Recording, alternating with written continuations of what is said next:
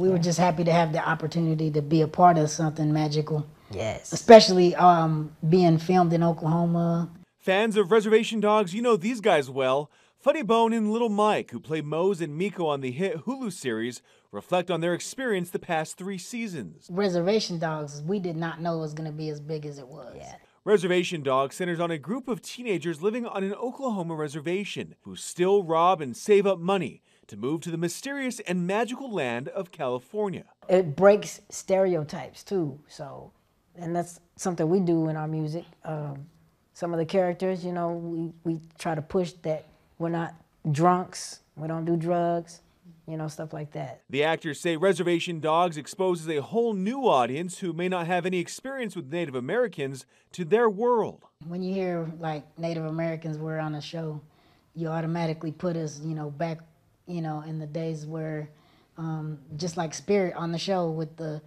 regalia on and whatnot. So to see modern day natives playing themselves is just like it's eye opening for everybody. Yeah. A lot of people thought we were gone. The show also breaking other barriers as well. It's the first series to feature all Indigenous writers and directors, and almost the entire cast and production team are Indigenous as well. It is also the first series to be filmed entirely in Oklahoma. The fact that it was based in Oklahoma, uh, it was uh, mostly crewed by Oklahomans, which is, which is a very big deal, uh, was huge, and um, hopefully that will help attract other productions. Obviously, Tulsa King came here um, because of that, that, that we proved that we could do a major series. Sean Lynch is a professor of digital cinema at OCCC. Many of his former students worked on this show. Lynch says unique stories like Res Dogs are ready to be told, and Oklahoma has played a central role in opening the door. We have a solid crew base here, and we can do these major productions, and they don't have to bring everybody in. And I think we can do it in Oklahoma at a much lower cost than they can do it in LA or Georgia. As for Lil Mike and Funny Bone,